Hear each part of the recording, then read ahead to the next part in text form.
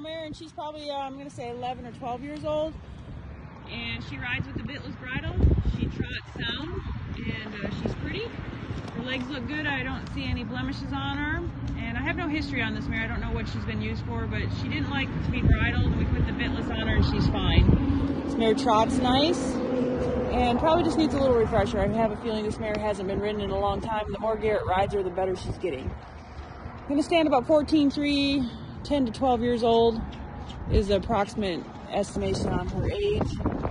And um, no history came with her. I don't know, have any idea what she was used for or when she was last ridden or anything like that.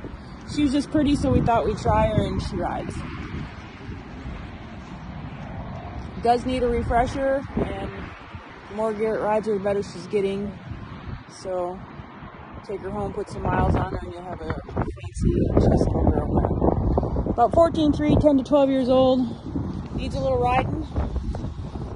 Right eye's good.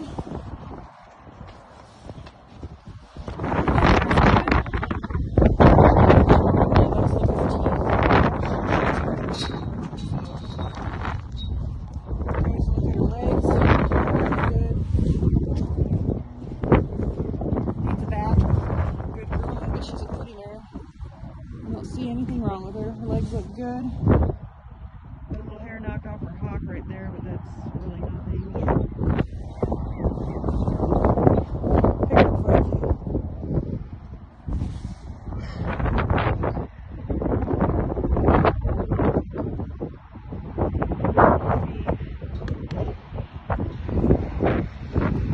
Cute little chestnut overo mare. Needs a little work, a little riding, a little pressure. Should be a nice one.